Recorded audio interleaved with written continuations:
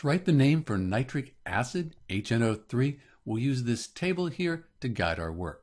So we can see we don't have hydro in front of nitric here, so it's not going to be this type of acid, but we do have IC. So we have our NITR, the stem, and IC. So we use rules for this type of acid.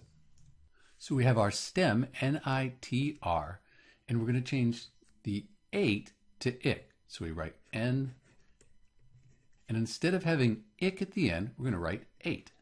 That means we have the nitrate ion in this acid. So we go to the common ion table and we're going to look up nitrate.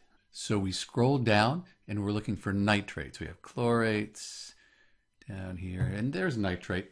It's NO3 minus. So we remember NO3 minus, we go back to our table and we'll write NO3 minus.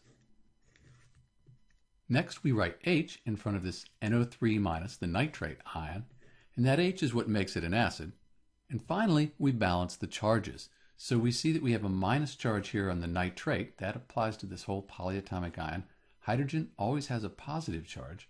And that positive and negative, they'll cancel out.